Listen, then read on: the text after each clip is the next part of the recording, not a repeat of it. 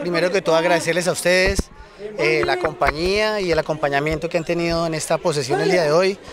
Y bueno, como nuevo comandante vamos a seguir cumpliendo la misión que tiene la unidad, que tienen nuestras unidades de la Fuerza Aérea Colombiana y que tienen nuestra Fuerza Aérea Colombiana, que constitucionalmente es mantener esa soberanía del espacio y de todo el espacio aéreo y de todo nuestro territorio nacional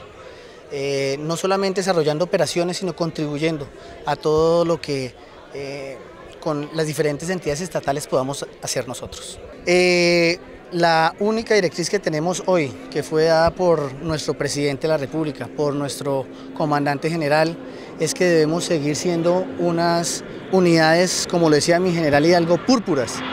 Y ustedes creo que ya más o menos han entendido lo que significa esto de ser púrpura. Lo púrpura es integrar todas nuestras fuerzas. Siempre hemos hablado del púrpura por los diferentes colores que son nuestro ejército, nuestra policía, nuestra fuerza aérea, nuestra armada y todas las fuerzas que integramos estas fuerzas militares y de policías.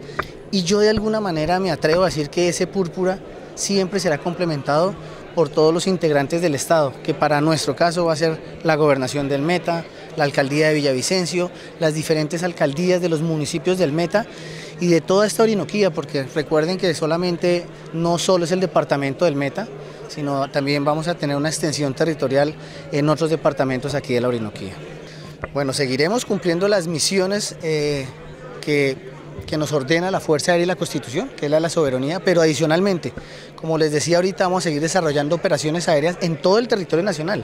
Nosotros no solamente estamos volando en este sector del departamento del Meta, el cual queremos mucho, sino que desarrollamos operaciones en todo el país, en diferentes áreas, en el Pacífico, estamos en La Guajira, estamos en Barranquilla, estamos en la costa pacífica.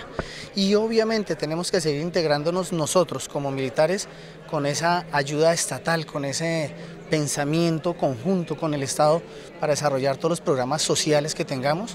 y contribuir no solamente a la seguridad, sino al desarrollo de la región y con esto al desarrollo del país.